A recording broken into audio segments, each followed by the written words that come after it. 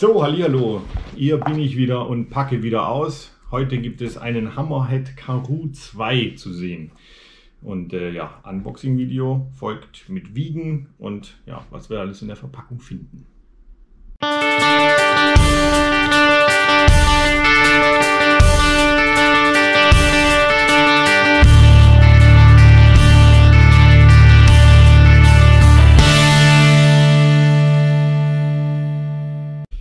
Hallo, ich habe eine neue Lieferung bekommen und zwar ist er endlich angekommen, mein Hammerhead Karoo 2. Tja, bin ganz gespannt, was drin ist und äh, im folgenden Video packe ich den jetzt mal aus und zeige euch, was man alles hier finden kann.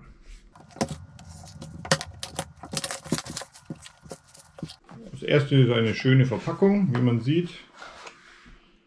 Ja, sieht wertig aus und das ist dann hier drin.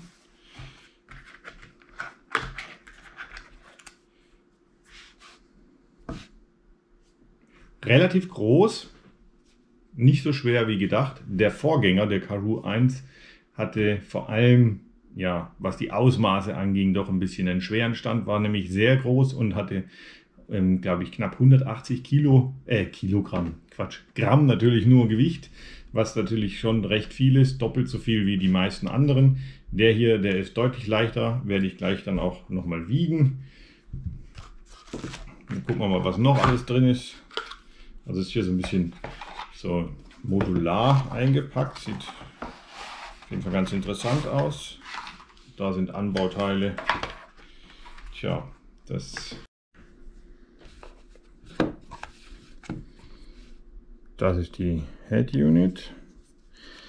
Ganz interessant, hier hinten gibt es eine spezielle Aufnahme, wie der ähm, am ja, Lenker äh, befestigt wird. Da ist ein eigens dafür konzipiertes Aufnahmestück äh, mit hier dabei. Man sieht es, ist so dreieckig. Müssen wir dann auch mal ausprobieren, wie sich das bewährt, wie das funktioniert. Soll super sein, aber das sagen natürlich alle Entwickler von solchen Sachen. Das hier ist die Lenkerbefestigung. Dann hat man einen Alloy äh. Hier gibt es einen Adapter, den man befestigen kann. Der ist auch mit dabei. Dann kann man nämlich die ganze Sache einfach am Garmin Mount festmachen, den man vielleicht hat oder Wahoo geht auch. Das Ganze wird mit USB-C-Kabel geladen, was sehr gut ist, weil USB-C ist im Moment der Standard und solche Kabel hat wahrscheinlich mittlerweile jeder daheim.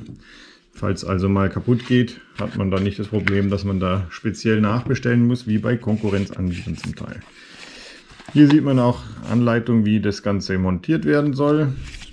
Und dann gibt es ein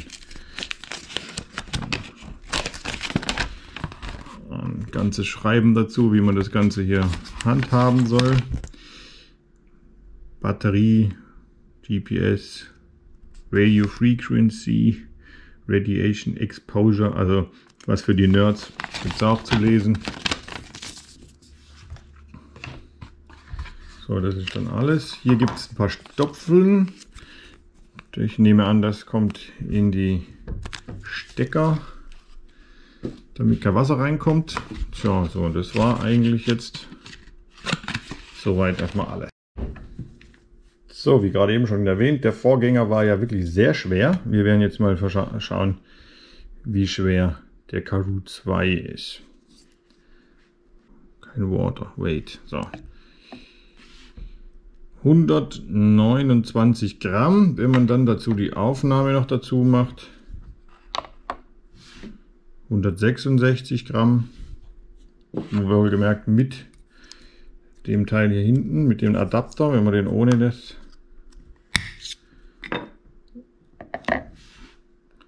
Also der liegt auch nochmal 126 Gramm. Das ist, glaube ich, ganz okay.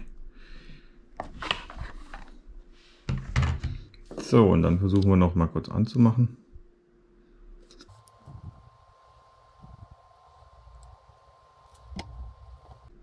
Er loadet immer noch. Ah ja, jetzt.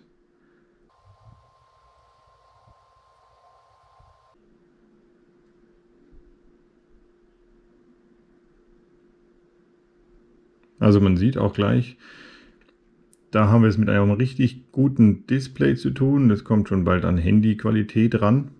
Man sieht hier ein Video zur Eröffnung. Also das habe ich bisher jetzt auch noch nie gehabt. Jetzt gucken wir mal, ein Touchscreen. Ne? Und hier können wir uns dann mit WLAN verbinden. Die ganzen Dinge, ein, ein Video über die Einrichtung mache ich dann noch im Nachgang. Aber jetzt geht es erstmal darum, was drin ist. Also wir haben hier Kabel, wir haben auch noch etwas, äh, eine Schlaufe zum sichern, dass er nicht runterfällt, wobei man das ja eigentlich nicht braucht. Wir haben hier die Lenkerbefestigung, die meines Erachtens doch ein bisschen massiv ist, also schon ein ganz schöner Klotz hier. Ähm, ich werde wahrscheinlich den Adapter benutzen, der eben auch dabei ist und dann meinen Garmin-Mount anbringen. Ansonsten hat man hier noch natürlich einen Innen-Sechskantschlüssel am passenden Stopfen, damit man hier die Kabeleingänge verschließen kann. Eine Anleitung ist dabei. Tja, und damit muss man jetzt glücklich werden. Der Rest wird dann wahrscheinlich im Menü angezeigt. So, ich hoffe, der erste Eindruck war gut. Ich mache ein Video über die Einrichtung des Ganzen noch und dann, äh, ja, hoffe ich natürlich, dass er ein paar Likes da lässt und abonnieren, Klingel drücken, dass er die Neuigkeiten mitbekommt und äh, vielen Dank fürs Zuschauen. Bis zum nächsten Mal.